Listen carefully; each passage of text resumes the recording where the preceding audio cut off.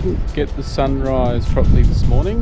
Uh, it was a little, it was very cloudy actually. Uh, but anyway, uh, we're at the lookout point for looking, just looking over Stanley. So let's have a bit of a look.